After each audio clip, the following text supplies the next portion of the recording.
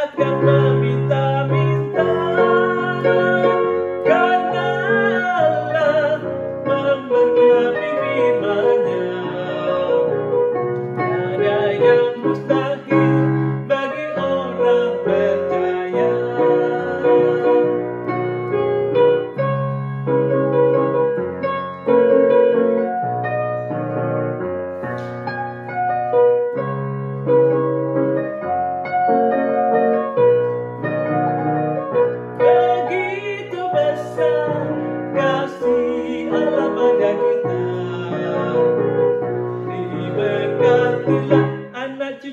na di mana